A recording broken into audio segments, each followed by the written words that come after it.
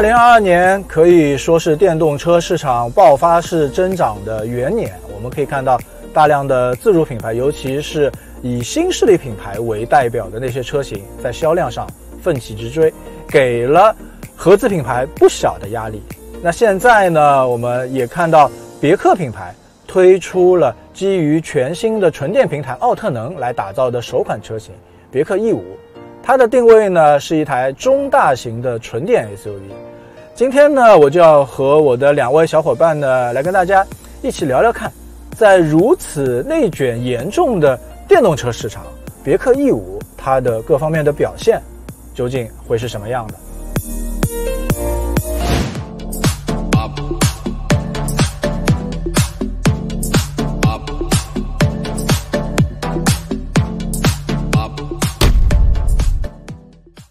看新车就看新车来了。Hello，大家好，这里是全新汽车跨界头脑风暴大会，牛咖来了。今天想要给大家推荐的一款车型呢，是来自上汽通用汽车旗下全新的产品——别克 E 五。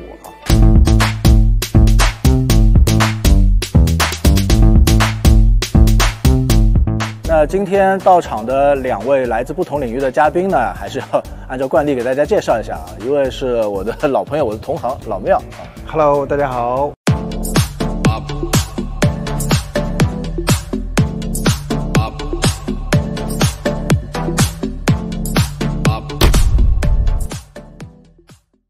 还有一位呢是新朋友啊，Q 宝爸爸。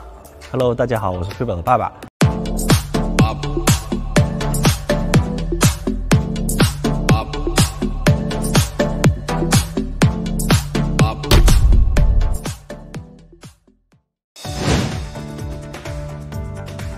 那在具体聊别克 E 五的各方面感受之前呢，我还是想先问 Q 宝爸爸一个问题啊，就是在选择电动车的时候，你最看重的是什么？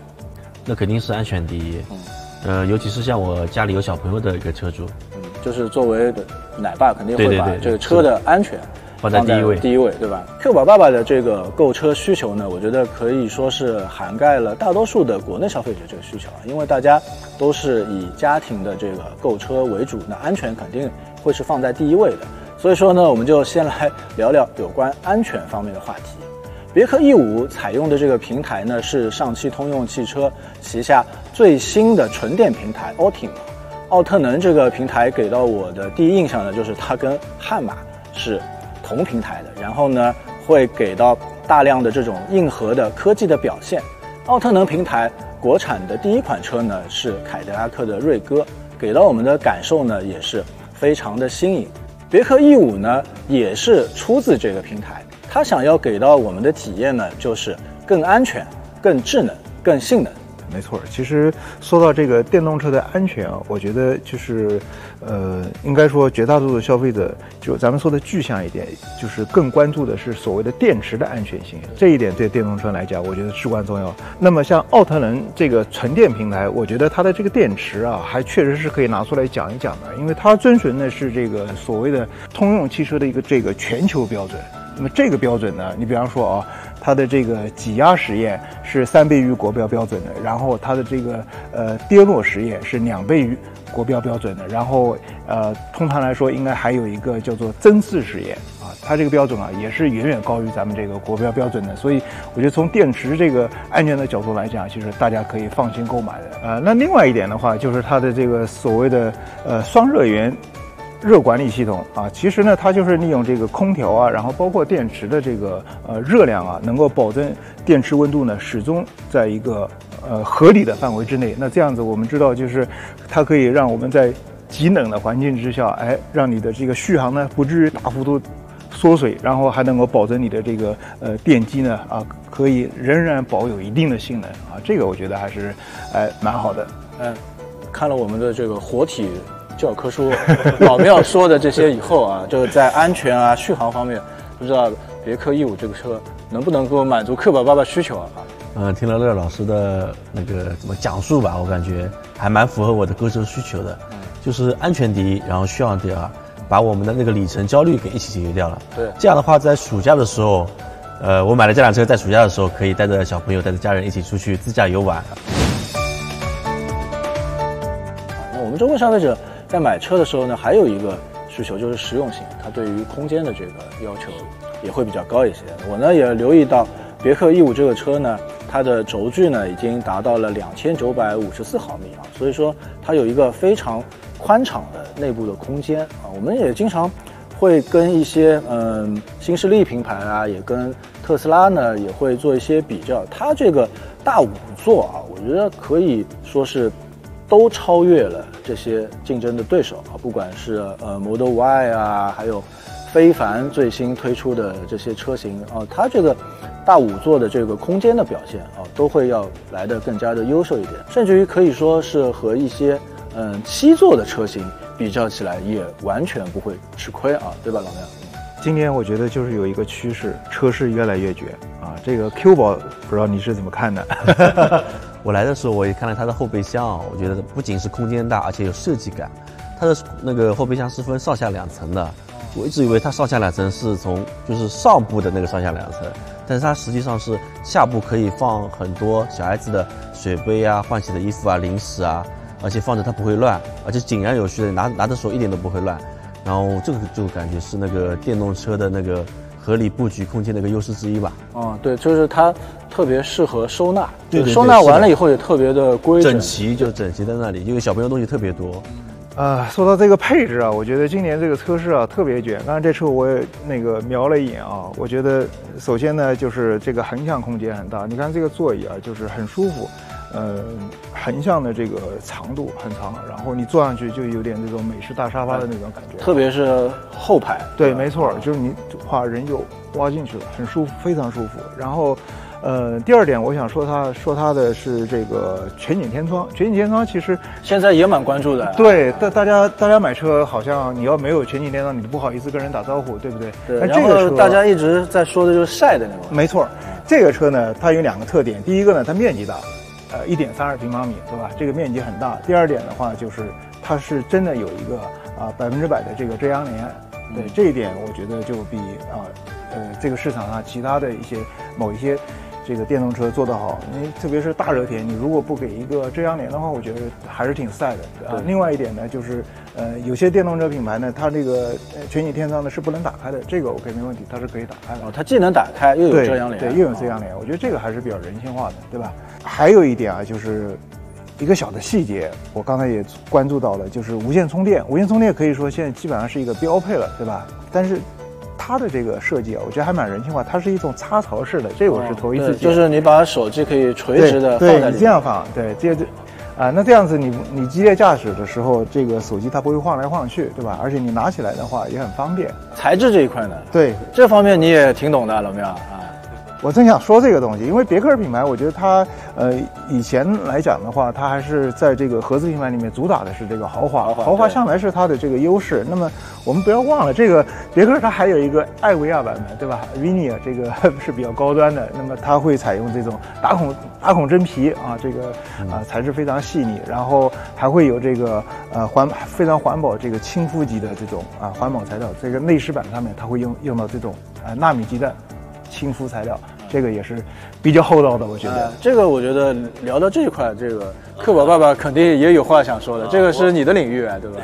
我听乐老师讲了这么多，其实我对这么专业的东西我不太懂，但是就是，呃，亲肤、环保，然后那个真皮，呃，这几个词踩在我的关注点上了。因为又是跟小孩子有关的，对吧？是的，这这开起来、坐起来真的很舒服。对，我觉得你可能。考虑的嗯更加偏重的会是嗯小孩是不是舒服，小孩会不会觉得这个座舱给到他比较舒适啊，然后健康的这种体验。老苗要么再说说就是音响方面，因为刚才也说到了有艾维亚的版本。如果大家了解这个别克品牌的话，应该呃都会知道这个别克品牌跟这个 BOSS 音响是深度关联的。对，就是哪怕是普通版本啊，它也会有这个 BOSS 音响。那如果是艾维亚版本的话，它这个 BOSS 音响会有十四个扬声器，我觉得这个配置还是蛮高的。在聊了空间啊、舒适啊。豪华这些之后呢，又又要聊聊现在大家买车也非常关心的，就是智能互联这个。别克 E 五呢，采用了 VCS 啊智能座舱这样一个概念啊，我觉得一进入这个车，给到我眼前一亮的就是那个三十寸的一体式的这个曲面屏啊，而且还是六 K 的，它的这个分辨率啊，还有这个丝滑的程度啊，我觉得大厂做 这一块可能会比新势力呢要来得更好一些。然后在芯片这一块，大家非常喜欢的这个网红八幺五五也给你安排上了，而且呢，我还留意到它的这个 HUD 呢会更加的宽一些啊，显示的信息呢也会。更加的多一些，来配合整个中控台的使用，会让你对于整个驾驶的时候的所有的想要知道这些了解的信息呢，更加的一目了然一点。当然呢，对于嗯通用的传统优势啊，流媒体后视镜啊，它呢也是给到了一个九点三寸的这个无边框的流媒体后视镜啊，而且我还留意到它不但就是后方的这个三倍视角会更加清晰一些，还给你配了这个清洗摄像头。就是你车尾，呃，遇到了一些呃污渍的时候呢，你也可以通过这个比较贴心的功能呢，来给到你一个非常好的一个视野。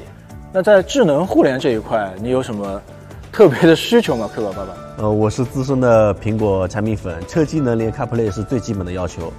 呃，我关注到这辆车不用那个数据线连 CarPlay，哦，就是有无线 CarPlay。对对对，这个实在是太方便了，我不用低头去看手机，或者说直接可以盯着那个屏幕就可以了。而且我觉得无线 CarPlay 这个功能呢，搭配老庙说到的这个插槽式的无线充电啊，这两个用起来就更加的方便和智能了，对吧？对的，我觉得这个组合啊，应该在全行业里面进行推广，对吧？无线 CarPlay 配这个。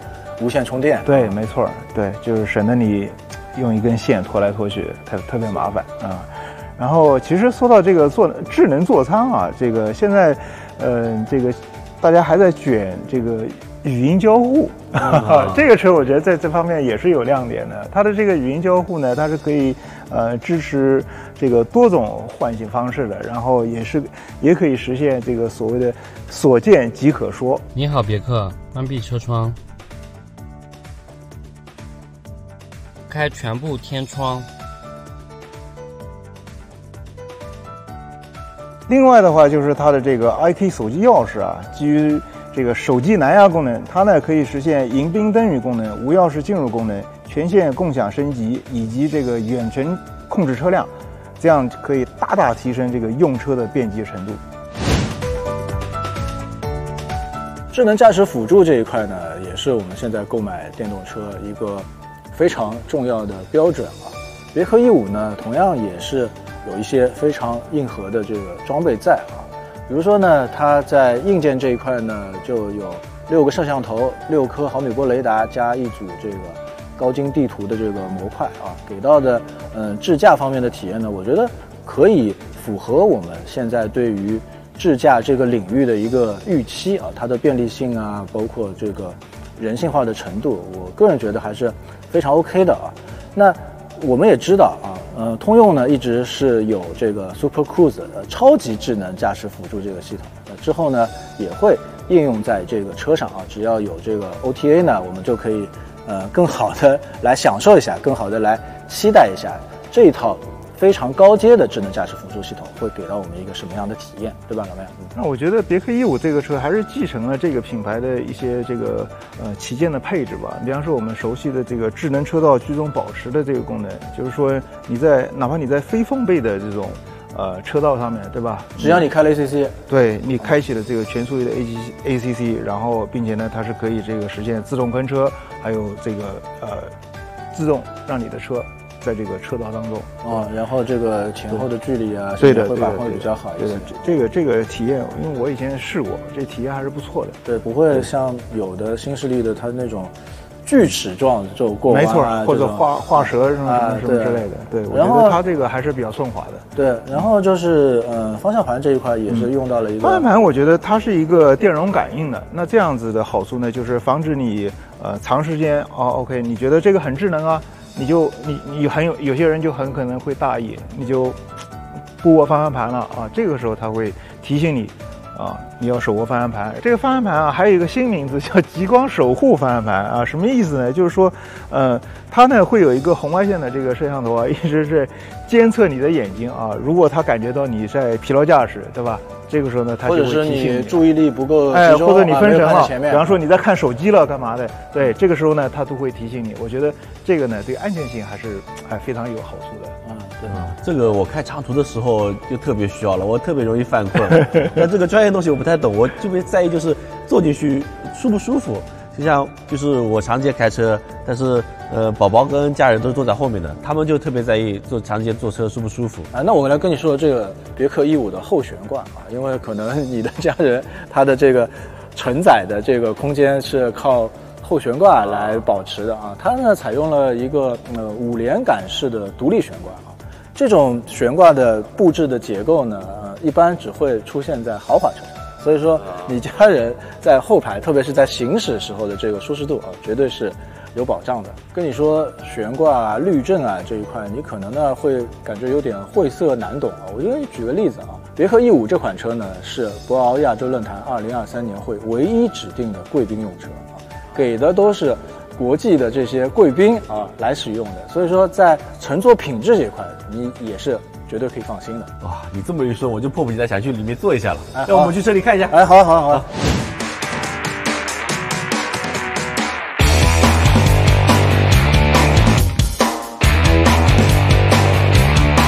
怎么样，老妹啊？怎么样，兔宝爸爸啊？这个上车以后感觉怎么样啊？我觉得我的第一个感觉啊，就是，呃，这台车呢虽然是别克的这个电动车，它还是继承了别克一向的这个优良传统，比方说安静。二十多年功底了，哎，对对对对，还有一个呢，就是刚才我们碾过这种颠簸不平的路面，对吧？这个悬挂很舒服。它的悬挂给到你的这种响应，对，非常的干净利落啊，不会有这种多余的震动，而且呢，就是路面的这种噪音啊，给到你的这种就不愉快的这种体感类的东西呢，全都帮你过滤的干干净净的，对吧？然后呢，在年轻人啊，包括像 Q 宝爸爸这种奶爸比较喜欢的这种炫酷的配置上，我觉得有那个一百二十一色的音乐律动氛围灯，啊这个我觉得小孩应该还挺喜欢的，因为它会根据这个音乐的节奏呢来不断的改变颜色啊，我觉得这个很炫酷的。然后呢，还有一个配置，我觉得我是非常喜欢的，到冬天离不开的方向盘加热，对吧？你别以为啊，我们南方的、上海的，然后浙江的 不要这个功能，真是你有了这个功能以后，你冬天绝对就离不开这个功能，因为当空调还没起来的时候啊，你可以座椅加热，方向盘加热打开。其实我觉得江浙沪的这个 消费者也需要这个功能，真的，这这冬天冷起来还是非常非常冷的。湿冷真的是很，嗯，湿冷比那个干冷还要可怕。而且这个空间啊，我觉得小 Q 宝比较能，就小男孩子比较能造嘛，就是在在这这城市道路上面就一直在后面玩，空间这么大，可以让他使劲的造了。而且我这个一米八、两百斤的胖子坐在后面一点都不拥挤，真的。而且这个座椅坐的真舒服啊，有两百斤啊，我有两百斤，一米八、两百斤的大胖子啊啊，。可以可以可以，啊你你你说这个空间空间宽敞，那我我是相信的。就我腿都可以架起来放，对吧你看架架起来放都没关系嗯。所以它这后排应该是纯平的吧？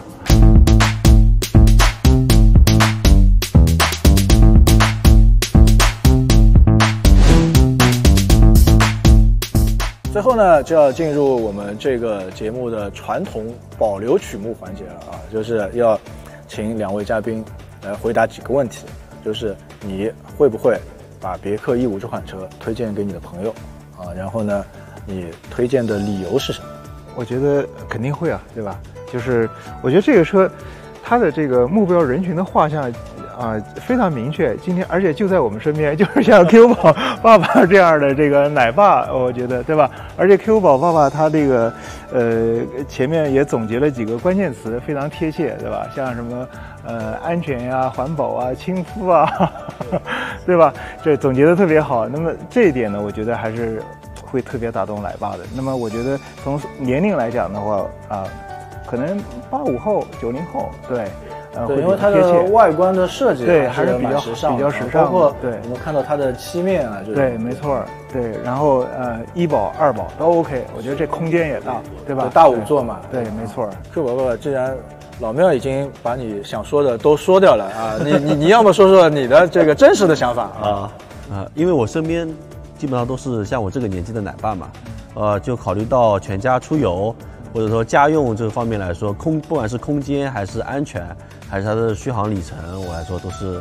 呃，值得我去入的，就是我考虑范围内的。岳老师讲的那些，就是亲肤啊、环保啊这些，我觉得呃也是超越品质的一辆车，对，也是一些打动你的这个打动我、打动细节我内心的，对细节上来说也是。所以说呢，我也是想说一下我的这个观点啊，因为我们现在其实，在电动车市场当中呢，嗯，新势力的选择呢，其实会比较多一些啊，包括特斯拉啊，给到大家可能印象呢会来的比较的直观一些。但我个人呢，还是比较倾向于那些传统品牌造的纯电平台的新的电动车。就像别克 E 五，它给到我的感受呢，就是它不但有新势力的那些丰富的功能啊，比如说我们刚才说到的智能互联啊、八幺五五啊、驾驶辅助啊，啊这些全都有，它还会有新势力所不具备的，比如说它更安全，比如说它的行驶品质更好，比如说它的豪华的细节，就像你关注到的，它这些会更加的丰满，给到我们的服务，给到我们的体验会更加的周到一些。就像老庙之前说到的，它这个 BOSS 音响，然后还有艾维亚这个版本，它的品质感和真正给到你的这个豪华的氛围，会比新势力呢来的要强很多。特别像别克一直在强调的，比如说它的静音啊，比如说它的豪华啊，它的舒适，它给到你的这些体验，我觉得是新势力可能在近些年给不到的，对吧？汽车行业这个还是需要一个沉淀的行业，就是有些东西你可能在短时间之内还是呃比较难以，对吧？对，特别是豪华车体验那一块啊，包括 Q 宝爸爸一直比较看重的那些细节，我觉得可能一定要找到别克这样的大厂。是的，关键颜值也还可以，我觉得颜值能过 Q 宝爸那一关。这一点最重要了。对对对，非常重要啊你！最后终于点题了。我们今天的牛咖来了呢，到这边呢，差不多就要告一段落了啊！非常希望大家用各种方式来跟我们留言互动啊，来跟我们聊各种跟车有关的话题啊，不管是买车啊、用车啊、养车啊，各方面和车有关的都可以跟我们进行积极的交流互动啊！我们下期节目再见，拜拜。